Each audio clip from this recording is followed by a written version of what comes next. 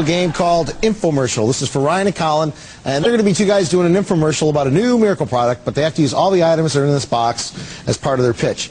Now, what do I need from the audience? Somebody behind me, uh, a personal problem that would have been improved by a miracle product. Arm hair. Arm hair. Excessive arm hair. Big problem for some of us. Tell us how to get rid of it using the items in the box. Colin Wright. All right. Are you tired of people giving you bananas, mistaking you for a chimp? I am. but we have the product that'll get rid of that unsightly hair in, o- in only a year or two. That's right, Col.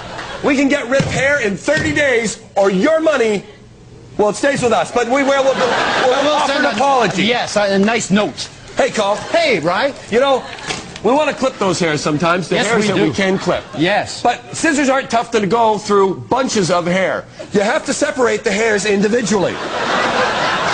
That's why we clip uh, each hair. Tell me if that hurts. No, it doesn't hurt. It feels kind of nice. This way we can. Ow, that hurts. Sorry.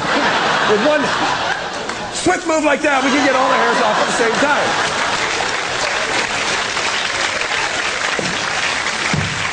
Don't try this at home. No, because that is the old way to do it. We want, we, we want to come up with a painless way, don't we? Oh, oh, oh! Yes, we do. Hey, what's that, Cole? Why, what does it look like to you? Well, it looks like some sort of uh, Betty wig. That is absolutely correct. Because as you know, Betty is the god of arm hair.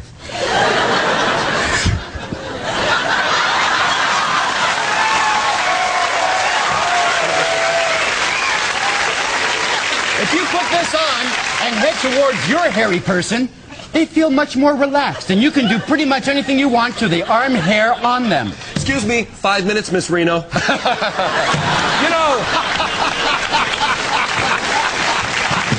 sometimes you have to get those hairs up just a bit more.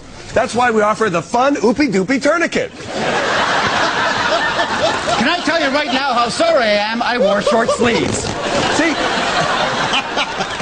Why? I feel the hair popping out even as we speak.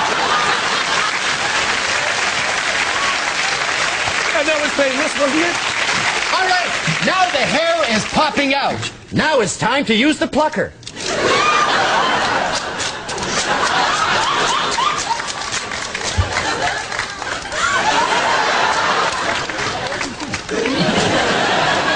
Oh, Colin. Well, that's worked for a little. Oh, I guess it's time No. for some heavy-duty arm hair removal. This is actually an example call. This is your arm magnified 1,000 times. These are what the individual hairs look like on your arm. The result is we want this, not this.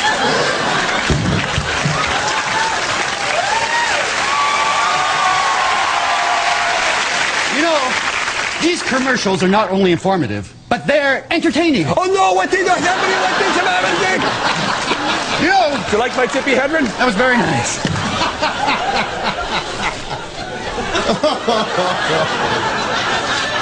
Sometimes when there's nothing else left, suction. Oh no.